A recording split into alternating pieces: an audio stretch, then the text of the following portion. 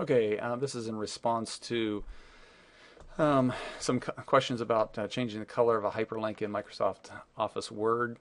And we want to be able to design uh, to our own color schemes and not uh, be constrained to Microsoft's color schemes, especially when we get stuck with the uh, blue of a hyperlink and the purple of a followed hyperlink. So what we're going to do is change those colors. And right now I'm going to first off add um, a hyperlink to this bit of text here. And I'm going to send it to uh, my website here, http.kurtdreier.com.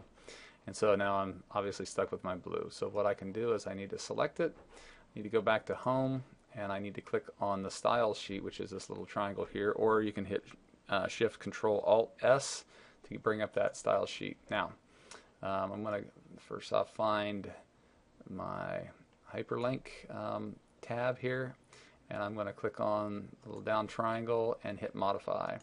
Now this is going to set the color for the initial hyperlink color. I'm going to change it to green or I could go down here to more colors and I could change it and dial it into RGB colors or uh, hue and saturation levels. So um, I'm going to go just a standard green, hit OK, and I'm, but I am going to take off the underline. Now I could change the font style and I can change the font size and bold, metallics, whatever.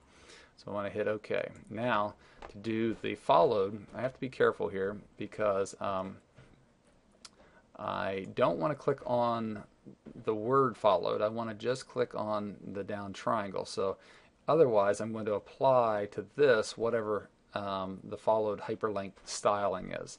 I want to modify that so when I do click on this, it will apply that styling, but I don't want to apply it, that styling right now. So that's really important.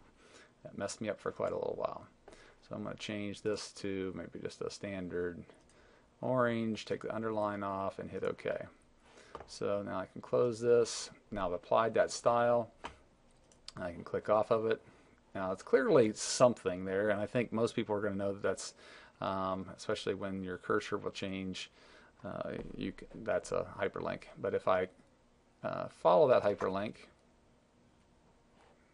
now it took me to my website, but I want to go back here and now you can see that it changed the hyperlink to a followed brown. So um, I think that'll be uh, really good for giving you some design consistency and some repetition of color.